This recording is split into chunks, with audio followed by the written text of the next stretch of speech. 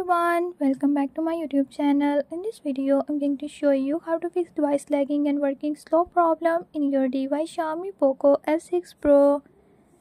In this video i'm going to show you how to fix this issue.